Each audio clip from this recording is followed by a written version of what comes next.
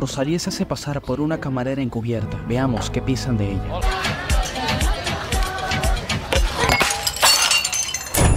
Perdóname, perdóname. Qué disgusto. Bebé, tú ten cuidado. No sé si tú estás listo. Yo te lo canto. Tú eres la Rosalía, ¿verdad? Yo. Yo soy tuya,